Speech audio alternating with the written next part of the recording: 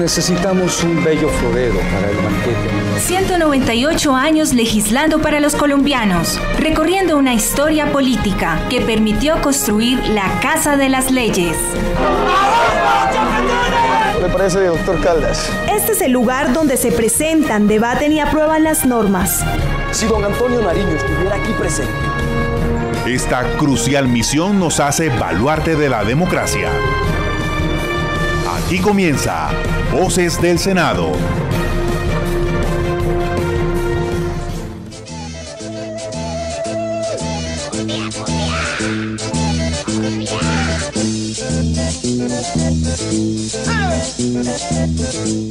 Una feliz mañana de sábado, amables oyentes de las 53 frecuencias de la Radio Nacional de Colombia, a ustedes y a quienes nos siguen en las diferentes plataformas virtuales en donde nos encuentran como Senado Colombia en Facebook y YouTube y en Twitter somos arroba Senado siempre con el hashtag Voces del Senado. Hoy 6 de febrero se celebra el Día Mundial de Tolerancia Cero con la mutilación genital femenina. Esta práctica se concentra en 29 países de África y de Oriente Medio, aunque es un problema universal que también existe en India Indonesia, Irak y Pakistán, así como entre algunas comunidades indígenas de Latinoamérica como la de Emberá en Colombia. Está reconocida internacionalmente como una violación de los derechos humanos de las mujeres y niñas. La mutilación genital comprende todos los procedimientos consistentes en alterar o dañar los órganos genitales femeninos por razones que nada tienen que ver con decisiones médicas. Constituye una forma extrema de discriminación contra mujeres y niñas y viola sus derechos a la salud, la seguridad y la integridad física.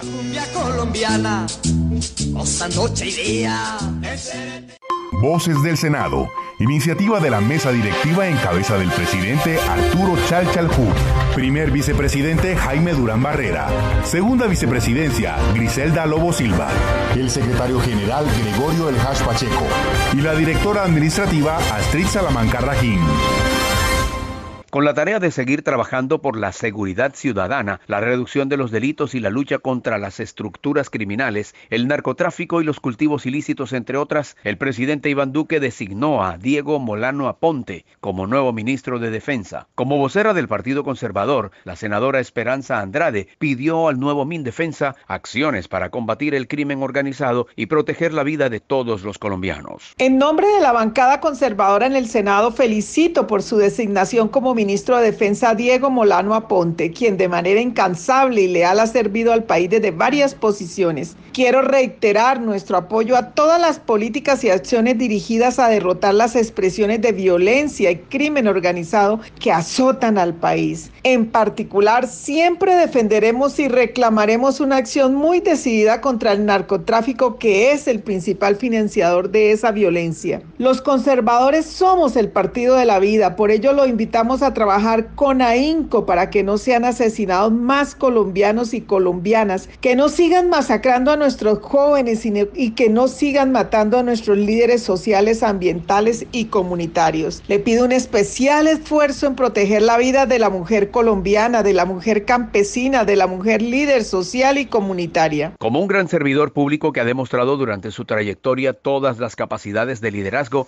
para asumir esta cartera tan importante, lo catalogó el senador del Partido Centro Democrático, Gabriel Velasco, quien espera que Diego Molano continúe el legado que Carlos Holmes Trujillo dejó en la cartera de defensa. Vamos a Diego Molano por su designación como nuevo ministro de Defensa, un gran servidor público que ha demostrado a lo largo de su trayectoria política y pública todas las capacidades de liderazgo para asumir esta cartera tan importante. La verdad estamos seguros que continuará con el legado del ministro Carlos Holmes en la lucha continua contra la criminalidad y el narcotráfico. Sin, duda alguna será un actor importante en la articulación de la Defensa Nacional. Le auguramos muchos éxitos en su gestión. El presidente de la Comisión Segunda del Senado, Juan Diego Gómez, celebró el nombramiento y destacó las cualidades del nuevo ministro de Defensa. Asimismo, le solicitó brindar tranquilidad y seguridad en el territorio nacional, perseguir a los autores de las masacres y trabajar con la fuerza pública para desmantelar las disidencias de la FARC y los grupos armados. Sobre la designación del nuevo ministro de la Defensa Nacional, el doctor Diego Molano Aponte, debemos decir desde la Comisión Segunda del Senado de la República que se trata de un gran acierto del presidente. Se trata de un funcionario pro, un hombre con gran capacidad gerencial y que hoy enfrenta retos importantes para el país. El primero de ellos, brindar tranquilidad y seguridad en el territorio nacional. El segundo, perseguir contundentemente a los autores de las masacres y el tercero, trabajar conjuntamente con la fuerza pública para desmantelar las disidencias de las FARC y los grupos armados en algunas regiones del país. Voces del Senado. Promover los productos hechos en Colombia, la defensa de los derechos de los campesinos en la restitución de las tierras de los miembros de las fuerzas militares son algunas de las iniciativas trabajadas por la senadora del Centro Democrático, María Fernanda Cabal.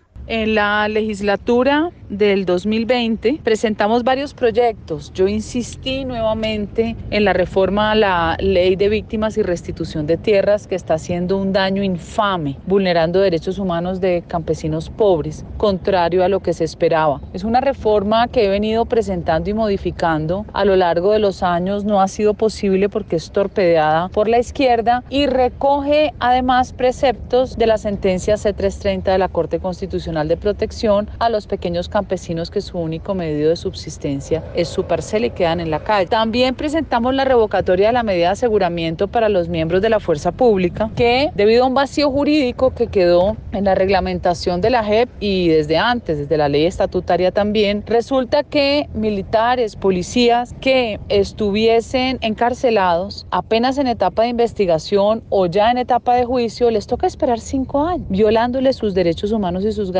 judiciales. O sea, les va mejor en la ordinaria que en la Justicia Especial para la Paz. Esa pasó comisión primera, quedó pendiente de plenaria, torpedeada también por algunos eh, personajes que satanizan cualquier reforma a la JEP. Paralelamente, presentamos el sello hecho en Colombia para promover la venta de productos colombianos, eh, el proyecto para que los productores agropecuarios constituyan fiducias para garantizar créditos y también la iniciativa donde las entidades públicas contraten con productores nacionales. Igualmente tuve la oportunidad de ser ponente del proyecto de la congresista Margarita Restrepo para reforzar las penas contra los reclutadores de niños reclutadores de menor. Estas y muchas otras actividades desarrollamos en eh, esta presente legislatura.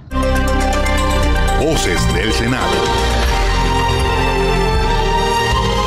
Por su parte, el senador del Partido Cambio Radical Richard Aguilar, de junio a diciembre de 2020, se centró en apoyar y liderar proyectos de ley que atiendan las necesidades de los sectores más afectados de la sociedad colombiana, como el subsidio a la nómina y ayuda a los medios de comunicación que han visto disminuidos sus ingresos debido a la pandemia del COVID-19. Quiero destacar principalmente el proyecto del subsidio de la nómina, el PAEF, que logramos que se aprobara nuestra proposición de aumentar el subsidio a la nómina del 40 al 50% para los sectores más afectados por la pandemia, el turismo, el sector hotelero, gastronómico y actividades artísticas y de recreación. Asimismo, con mi bancada, el Partido Cambio Radical, logramos radicar un proyecto para ayudar a los medios de información, auxilios económicos y beneficios tributarios para un sector que ha sido golpeado y que sus ingresos se han reducido en un 50% respecto al año 2019. Una de las iniciativas banderas de mi gestión y la cual quiero destacar es el proyecto de trabajo en casa que acumulamos con el gobierno nacional y en donde el trabajo en casa es una, es una forma de trabajo en donde se dará en circunstancias excepcionales, en donde no se requiere especialmente el uso de las tecnologías de la información y en donde hay una temporalidad de tres meses prorrogables por otros tres meses. Lo importante es que aquí no se van a desmejorar las condiciones de contratación y se va a regular la sobrecarga laboral que se agudizó durante la pandemia. Este proyecto de ley de trabajo en casa ya está para segundo debate y esperamos poder aprobarlo iniciando el mes de marzo cuando inicien las sesiones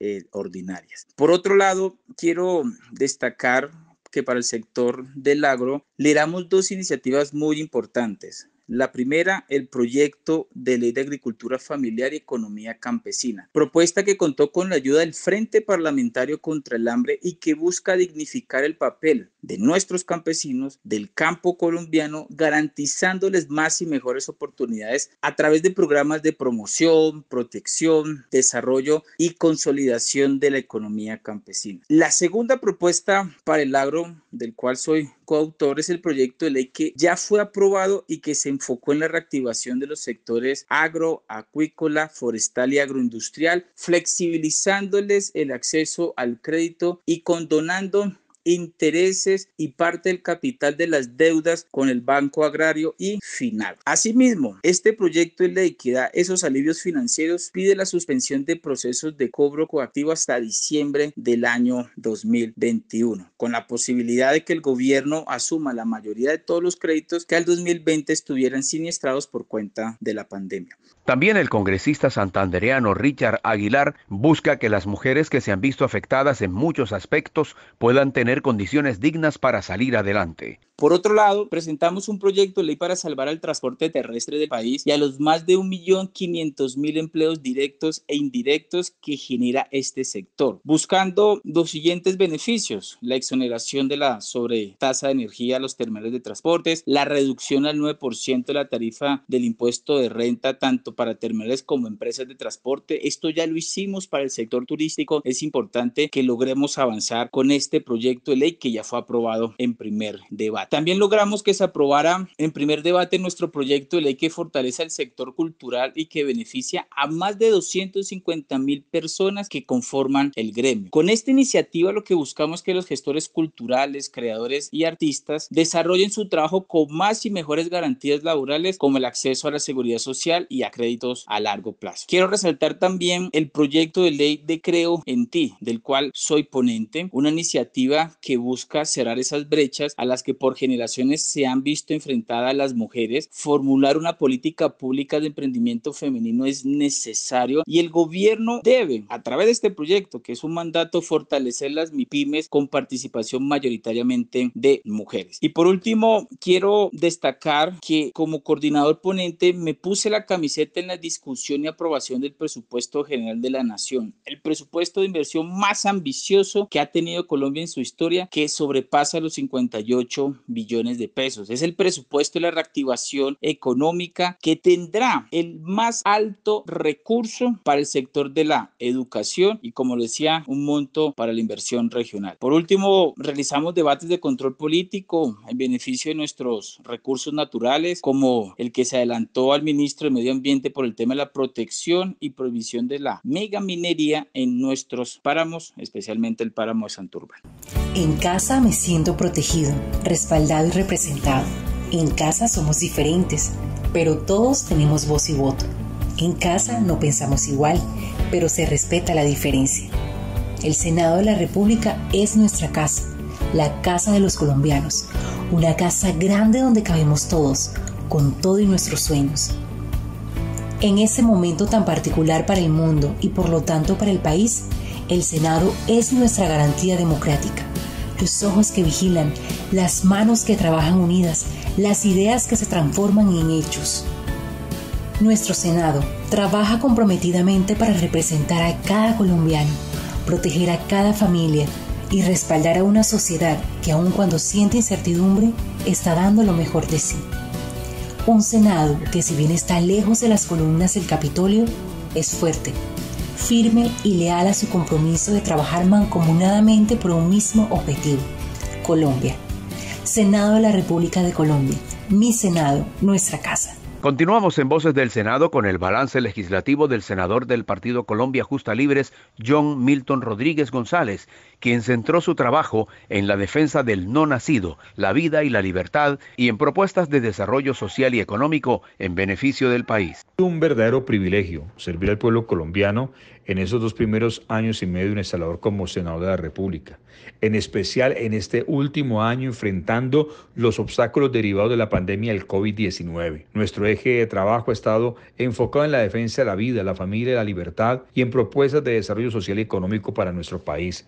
Es así como hemos presentado 70 proyectos de ley como autores o coautores, de los cuales ya son varios los que son leyes de la República. Entre ellos destacamos la ley que crea la Escuela de Padres, Madres y Cuidadores y fieles a nuestro nuestro compromiso de devolverle a la familia la potestad en la educación de los hijos. Lideramos el 61 debates de control político, gestamos la creación de la bancada provida de la Comisión Legal de Lucha contra las Drogas, solicitamos el apoyo del Ministerio de Educación para desarrollar el Fondo de Solidaridad a favor de los padres de familia de estratos 1, 2 y 3 en medio de la crisis. Convocamos a la Gran Alianza por el Empleo como parte fundamental de la estrategia de la reactivación económica y propusimos, entre otras, la reducción del IVA del 19 al 8% que esperamos sea considerada en la próxima reforma tributaria. Presentamos 541 proposiciones en comisiones y en plenaria del Senado y presentamos a favor de los colombianos 262 peticiones ante entidades públicas. Acompañamos solidariamente a través de la donación del 30% de nuestro salario básico el apoyo en diferentes situaciones de emergencia económica a las poblaciones de La Guajira, Chocó, San Andrés y Bolívar. En nuestras redes sociales encontrarán nuestro informe completo de gestión y sobre el cual pueden hacer ustedes las observaciones que para nosotros serán muy importantes tenerlas en cuenta. Bendiciones para todos y recuerden, mi causa es Colombia. Voces del Senado. Las cifras del DANE reflejan que la informalidad en Colombia se encontraban en el 47.9% en el periodo comprendido entre diciembre de 2019 y febrero de 2020, lo que representa un promedio de 5.7 millones de trabajadores informales. Mejorar las condiciones de vida de estos colombianos será la meta de la senadora del Partido Centro Democrático, Paloma Valencia. Esta es su propuesta. Uno de los grandes problemas que tiene nuestro país es que pese a tener el mayor espíritu emprendedor de Latinoamérica, los negocios en su mayoría están en la informalidad. Esto significa que no tenemos registro de dónde están, qué hacen, quién es su dueño, qué producen o en qué lugar están ubicados. Simplemente son pequeños negocios que van sufriendo mucho y que no podemos tener políticas públicas para ellos porque son absolutamente invisibles. El segundo tema que me parece importante destacar es que uno quisiera poder tener esas políticas públicas y lo primero es reconocer ¿Por qué tantos colombianos están en la informalidad? Bueno, primero, porque son más de 25 cinco trámites los que se requieren para ser formal. Segundo, porque cuesta entre el 30 y el 47% de las utilidades brutas, es decir, es sumamente costoso. Esto sin contar la cantidad de tiempo que necesitaría para sacar. La escalera de la formalidad la entendemos como una solución, que es entender que la formalización debe irse logrando en la medida en que el negocio prospere, el tiempo pasa y el negocio se hace más grande. Lo que queremos es que la escalera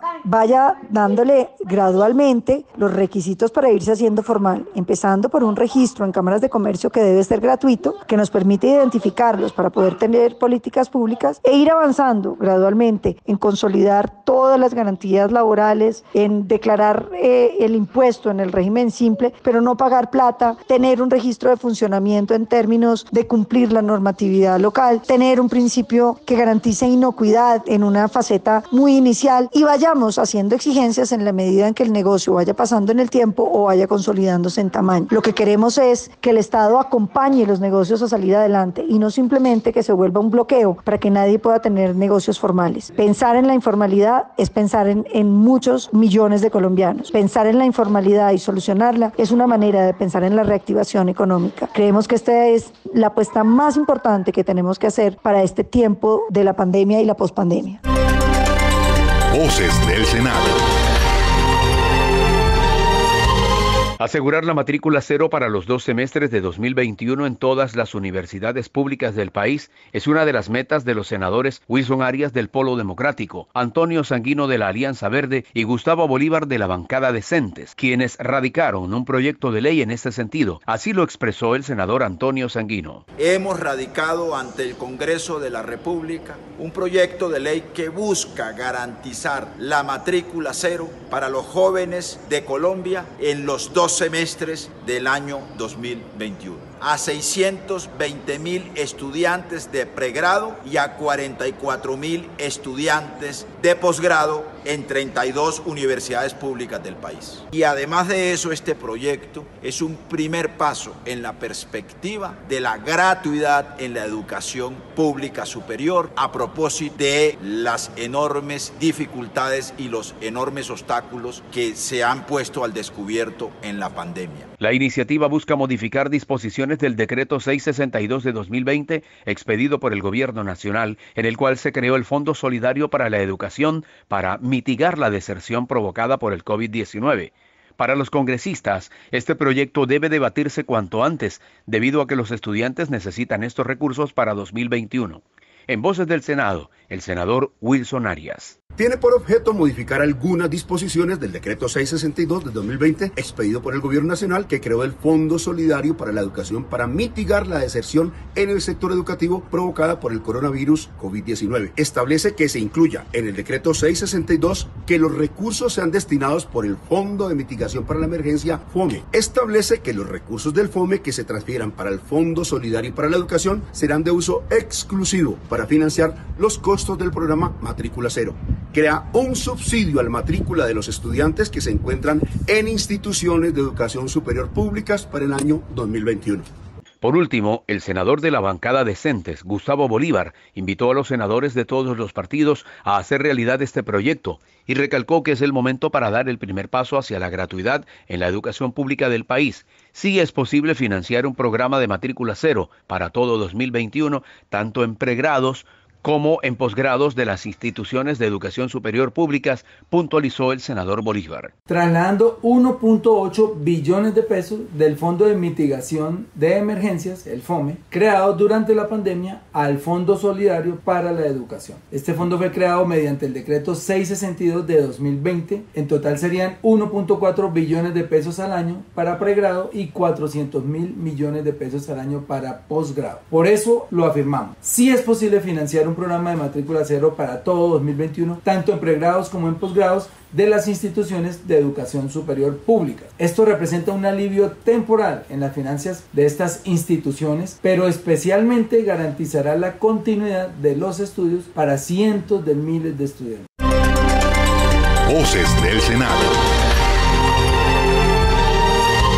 seguirnos cuidando porque la pandemia del COVID-19 no se ha ido, pidió el senador conservador Efraín Cepeda, quien se mostró nostálgico al tener que celebrar de manera virtual la Eucaristía en honor a Nuestra Señora de los Remedios, ya que la pandemia le impidió estar en Riohacha como cada año. Hoy siento especial nostalgia porque la pandemia me impidió estar al lado de los guajiros en una fecha tan especial, 2 de febrero, Día de la Virgen de los Remedios, la vieja Mello. Como he estado desde hace muchos años profesándole esa fe. Hoy le pido a la Virgen por la salud de los guajiros. Hoy le pido a la Virgen por la salud de los colombianos. Hoy le pido a la querida gente de La Guajira que se cuide, que la vacuna está cerca, que mejores días están por venir. Aquí seguiremos trabajando por el empleo de la gente, por el emprendimiento, seguiremos trabajando por la reactivación económica, porque la gente tenga educación, salud, empleo a lo largo y ancho del país, en la región Caribe y por supuesto en La Guajira. Saludo muy especial a los guajiros en este día tan importante. Recuerda, debes usar menos papel y más tu conciencia ecológica. Senado de la República, estamos comprometidos.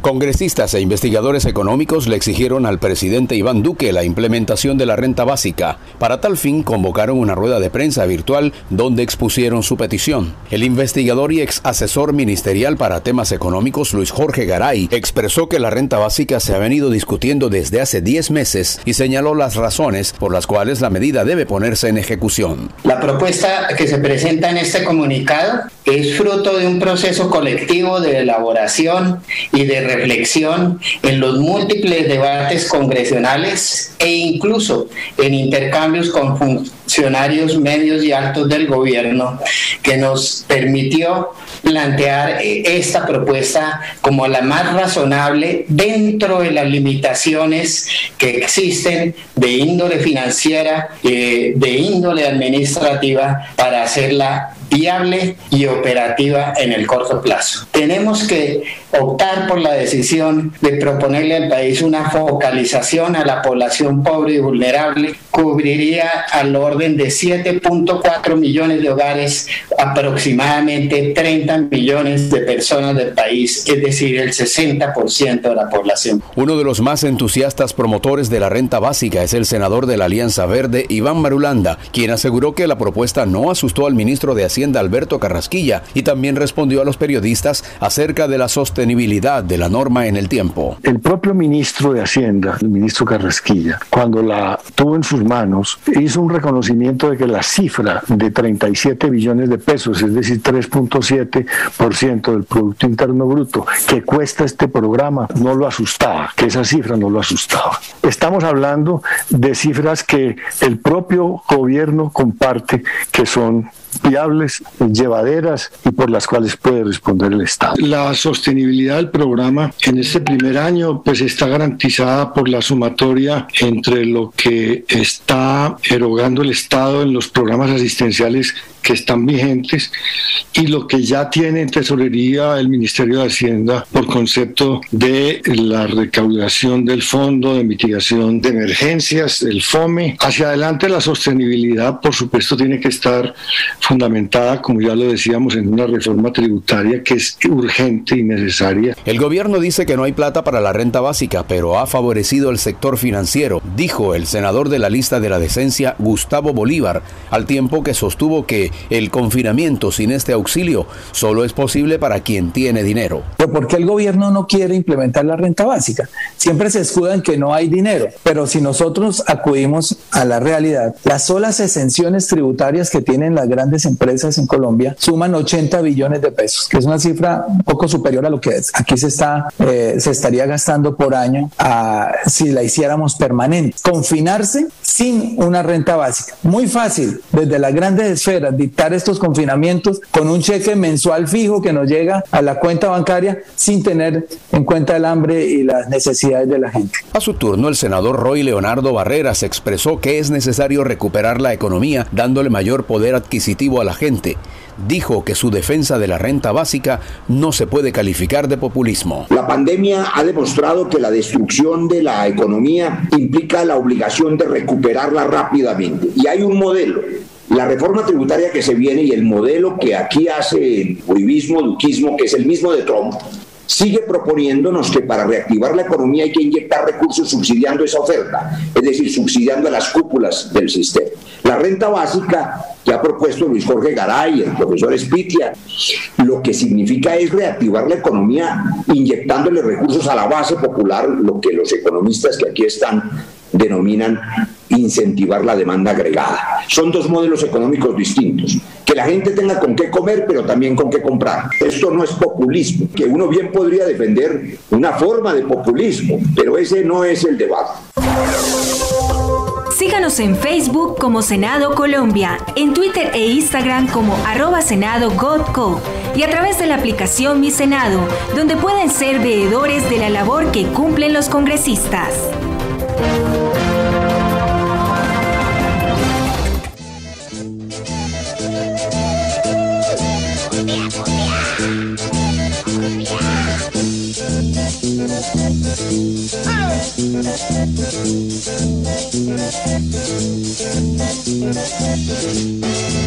Ahí la cumbia, esta cumbia es eterna. Ahí la cumbia. Si desean ampliar la información sobre los temas del legislativo, nos pueden escribir al correo electrónico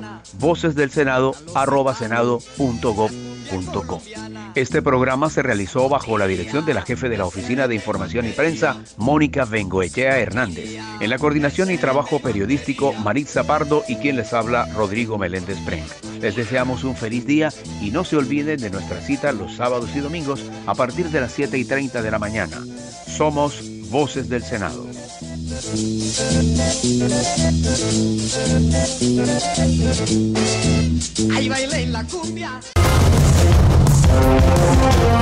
Voces del Senado, programa institucional del Senado de la República de Colombia.